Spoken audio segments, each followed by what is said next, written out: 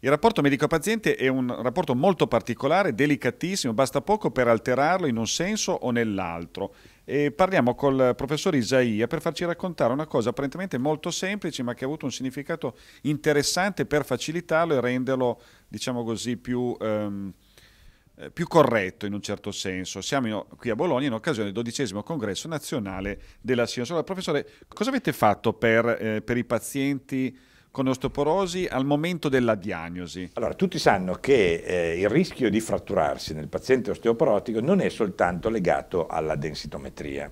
La densitometria è certamente un elemento importante, eh, in quanto più è bassa più il paziente ha rischio di fratturarsi, ma non è l'unico elemento. È opinione comune che molti pazienti, e le vediamo spesso anche noi, magari con una densitometria molto bassa non si fratturano affatto, altri invece con una densitometria, non dico normale, ma borderline, sono sempre fratturati. Allora, eh, da qualche anno è venuto fuori la, nella comunità scientifica internazionale l'esigenza di disporre di algoritmi, cioè di carte del rischio praticamente, che in qualche modo integrano il dato densitometrico con dei dati clinici, l'età, il sesso, l'assunzione di cortisone, le precedenti fratture, eccetera.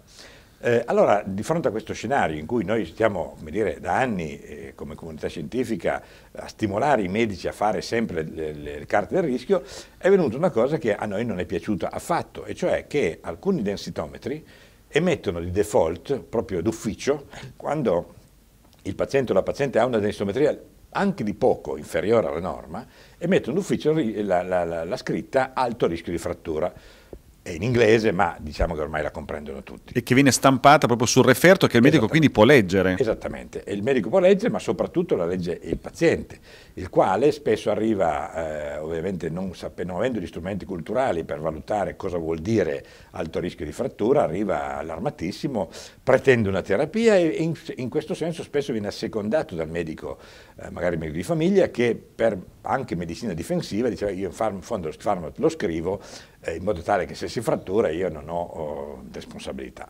Allora noi eh, abbiamo fatto un'operazione l'anno scorso con la Regione Piemonte e abbiamo eh, rappresentato questa anomalia che in fondo il rischio è un dato clinico, non può essere espresso da una macchina eh, per quanto sofisticata e allora abbiamo fatto togliere la scritta alto rischio di frattura in tutti i pazienti eh, che avevano densitometria bassa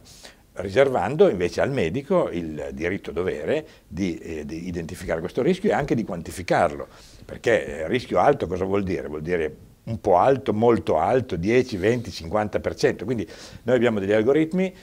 tra i quali noi usiamo ormai comunemente il DEFRA che praticamente ci consente, ovviamente non è la sfera di cristallo, ecco, ci sono anche lì delle, del, dei margini di incertezza, però a grandi linee ci permette di dire a questa signora, guardi, lei ha una densitometria bassa, però in questo momento non è a rischio perché non ha altri fattori di rischio, oppure perché è giovane, la controlliamo nel tempo ma non facciamo nessuna terapia. Quindi per il bene del paziente decide il medico e non la macchina. Eh sì. Sì, direi che un, questo è un concetto di carattere generale che noi cerchiamo di dire, instillare alle nuove generazioni, molto spesso propense a delegare alla tecnologia che ovviamente ci ha dato degli aiuti enormi dal punto di vista diagnostico, però ricordiamoci sempre che la medicina è fondata, deriva dalla filosofia, deriva dal, dal pensiero filosofico greco, romano e quindi dobbiamo attenerci un pochettino a questa linea di pensiero.